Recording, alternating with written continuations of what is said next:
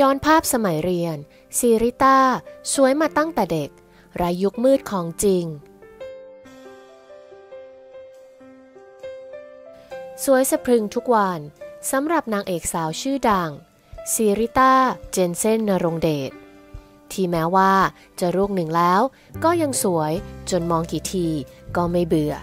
แถมปัจจุบันก็กำลังตั้งครรภ์ลูกคนที่สองแล้ว แต่บอกเลยล่ะค่ะว่า ก็ไม่โซแม้แต่น้อย ยังคงสตรองลุยทำงานอยู่เสมอ แล้ววันนี้ค่ะ